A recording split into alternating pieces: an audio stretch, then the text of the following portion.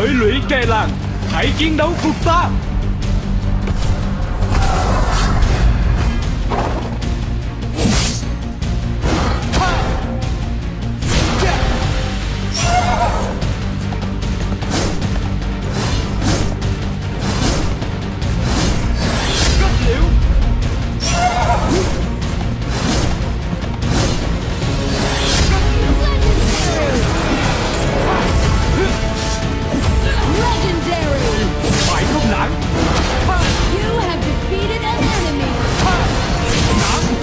哼。